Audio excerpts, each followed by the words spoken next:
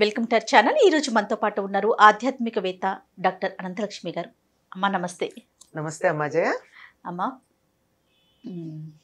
ఈరోజు టాపిక్ ఏంటంటే మనిషి బంధాలు ప్రేమలు వీటన్నింటికన్నా డబ్బుకే ఎక్కువగా ప్రాధాన్యత ఇస్తున్నాడు అనేది ఒక టాక్. మనం చూస్తున్నాం కూడా నిజం చెప్పాలంటే. ఎందుకు ఇలా అయిపోతుంది?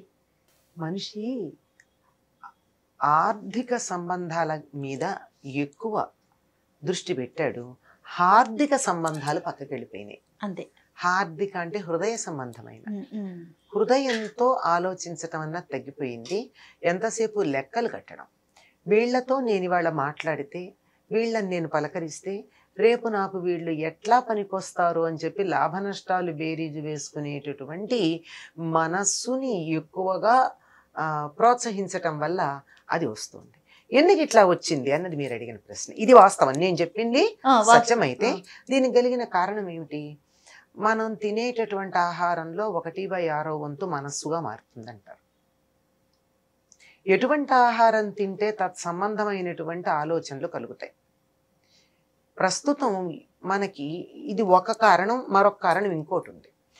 ఈ ఆహార సంబంధమైన కారణం ఏమిటంటే ఇంట్లో అమ్మ అన్నం వండి పెట్టేటప్పుడు అమ్మ కావచ్చు నాయనమ్మ కావచ్చు ఎవరైనా కావచ్చు తిని వీళ్ళకి ఆరోగ్యం బాగుండాలి అని ఈ అన్ని పదార్థాలతో పాటుగా కొంచెం ప్రేమ కూడా కలిపి పెడుతుంది కదా? ఖచ్చితంగా. ఇప్పుడు ఒకళ్ళు అడిగారు అమ్మ మా ఇంట్లో పులిహార చేసుకుంటే అంత రుచిగా అనిపించదు. గుళ్ళో పులిహార అంత రుచిగా ఎందుకు ఉంటుంది అని. ఎన్ని రకాలుగా చేసినా ఎందుకు ఉండదంటే అక్కడ దేవుడు అనుగ్రహం ఉందమ్మా అందులో. అందువల్ల దానికి ఆ రుచి వచ్చింది.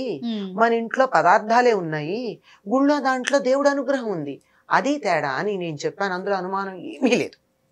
నేను పైకి చెప్పింది ఏదైతే ఉందో ఇది మామూలు కంటికి కనపడకపోయినా క్లిరియన్ ఫోటోగ్రఫీ లాంటి వాటితో చూస్తే కనపడేటటువంటి అంశంగా తెలుస్తూ ఉంటుంది. ఒకప్పుడు తెలియకుండా చెప్పిన మాటే ఇది. కనుక అమ్మ పెట్టేటటువంటి ఆహారంలో ప్రేమ ఉంది కొనుక్కుని తినేటటువంటి ఆహారంలో ఏముంది అంటే వ్యాపార దృష్టి ఉంది లాభాపేక్ష ఉంది. ఎవరైనా సరే అన్నం అమ్ముకునేవాళ్ళు అంటే ఆహారం ఏదన్నా కావచ్చు. అది హోటల్ కావచ్చు క్యాటరింగ్ సర్వీస్ కావచ్చు మరొకటి కావచ్చు మరొకటి కావచ్చు.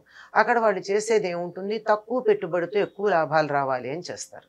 అంటే వంట చేసేటప్పుడు వస్తువులు కొనేటప్పుడు మనకి వడ్డించేటప్పుడు పెట్టేటప్పుడు అన్ని చోట అన్ని సందర్భాలలోనూ కూడా వీళ్ళందరి దృష్టి దేని మీద ఉంటుంది? లాభ. దృష్టి ఉంటుంది.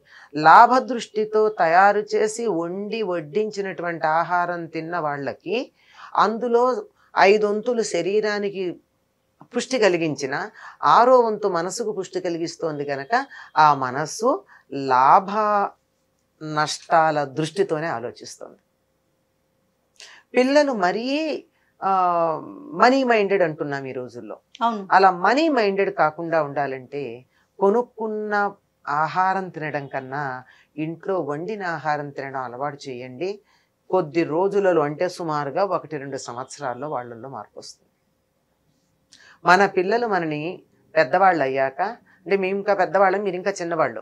మీరందరూ పెద్దవాళ్ళు అయ్యాక మీ పిల్లలు మిమ్మల్ని ఇంట్లో ఉన్న అమ్మ బరువు అనే ఆలోచన లేకుండా ఇంటికి ఒక చుట్టం వస్తే వాళ్ళకి పెట్టే ఆహారం మనకి దండగా అనే భావన లేకుండా ఇవాళ వీళ్ళు వచ్చారు నేను పంచుకున్నాను నాకు తగ్గిపోయింది అనేటటువంటి చికాకు పడకుండా ఉండాలి అంటే వాళ్ళకి ప్రేమతో పెట్టడం అలవాటు చేయండి ప్రేమగా ఉండడం అలవాటు చేయండి.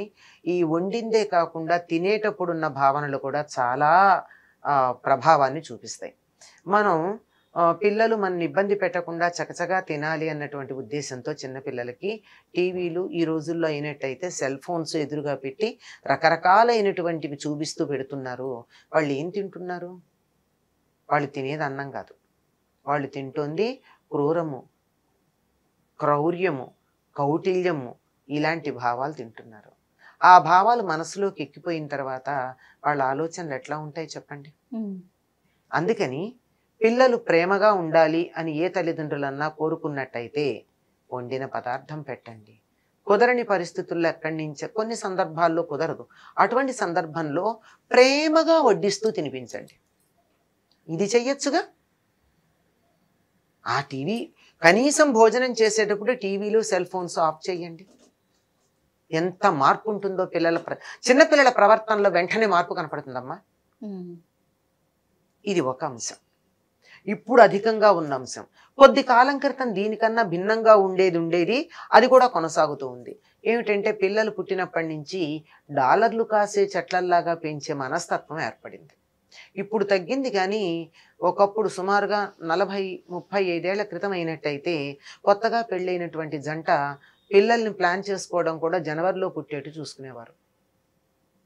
ఎందుకంటే అట్లా అయితేనే ఒక సంవత్సరం వృధా కాకుండా అమెరికాలో చదువుకోవడానికి వీలుగా ఉంటుంది. మీకు తెలిసి ఉండకపోవచ్చు. మీరు చిన్నపిల్లలు అయి ఉంటారు. మీరు సంతానాన్ని పొందే సమయానికి మీకు ఆ భావనకి అవకాశం లేదు. లేదమ్మా. మేం చూసాం అట్లా చేసిన వాళ్ళని. మమ్మల్ని ప్రశ్నించిన వాళ్ళు కూడా ఉన్నారు. మీరు ఆ రకంగా ఎందుకు ప్లాన్ చేయలేదని మా పిల్లలు నాకు అమెరికా వెళ్ళాల్సిన అవసరం లేదు. వాళ్ళు గొప్పవాళ్ళు కావాలన్న భావన కాదు. వాళ్ళు మంచి వాళ్ళు అయితే చాలు. వాళ్ళు ఉత్తములైతే చాలు అని సమాధానం చెబితే ఇదో పిచ్చిది అనుకున్నారు. పిచ్చైనా పర్వాలేదు. తప్పేం లేదు కదా? కనుక ఆ రకంగా సంతానం పొందడానికి ముందు నుంచి వాళ్ళని పెంచే ప్రతి సందర్భంలోనూ కూడా వాళ్ళు డబ్బు సంపాదించాలి అమెరికా వెళ్ళాలి డాలర్లు తేవాలి భవనాల్లో ఉండాలి కార్లల్లో తిరగాలి అనుకున్నారే కానీ వాళ్ళు ప్రేమగా ఉండాలి గొప్పగా ఉండాలి మంచితనంతో ఉండాలి మానవత్వంతో ఉండాలి అన్న ఆలోచన తల్లిదండ్రులకు ఉందా? అది ఉంటే ఆటోమేటిక్గా పిల్లలకు అది ప్రభావం వాళ్ళ మీద ఉంటుంది. ఇది ఎప్పుడైతే మనసులో ఉందో ప్రతి చేష్టలోనూ వ్యక్తమవుతూ ఉంటుంది. పెట్టే అన్నంలోనూ మాట్లాడే మాటల్లోనూ ప్రవర్తనలోనూ ఉంటుంది గనక వాళ్ళ మీద ప్రభావం ఉంటుంది.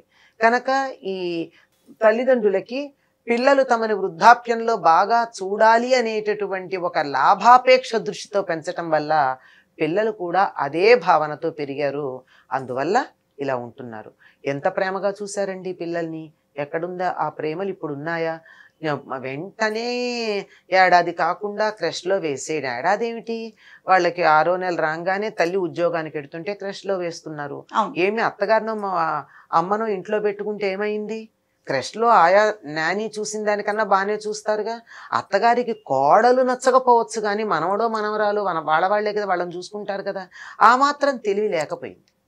అందువల్ల వాళ్ళు ఎలా చూస్తారు? డబ్బు తీసుకుని చూసేవాళ్ళు వ్యాపార దృష్టితో చూస్తారే తప్ప హాని చేయకపోవచ్చు. కానీ వ్యాపార దృష్టితో చూస్తారే తప్ప ప్రేమగా. చూడరు కదా. ఈ ప్రేమ లేకుండా పెరిగినటువంటి తరం అమ్మా ఇది. ఉమ్. ప్రేమ రాహిత్యంలో పెరిగారు. అందువల్ల వీళ్ళకి ఆర్థిక సంబంధాలే తప్ప ఆర్థిక సంబంధాలు లేకుండా పోయాయి. కనీసం ఇప్పుడైనా గుర్తించి కొన్ని బాగు చేయడానికి వీల్లేని పరిస్థితులు ముదిరిపోయి ఉంటాయి. ఇంకా కొంతమందిలో ఆ సున్నితత్వం పోదు. కనుక దాన్నైనా మనం కొద్దిగా మెత్తగా తట్టి లేపి మానవత్వాన్ని మేల్కొల్పితే అప్పుడు మానవ సంబంధాలు ఉంటాయమ్మా. సో మారాల్సిన అవసరం ఉంది. ముందర పెద్దలు మారాలి. ఆ, తర్వాత యువతరం మారాలి. పిల్లలు అప్రయత్నంగా మారాలి మారిపోతారు. Right. Thank you so much అమ్మా. నమస్తే. నమస్తే తల్లి. ఈ వీడియో కనుక మీకు నచ్చినట్లయితే లైక్ చేయండి షేర్ చేయండి. మరిన్ని వీడియోస్ కోసం మా ఛానల్ని సబ్స్క్రైబ్ చేసుకోండి.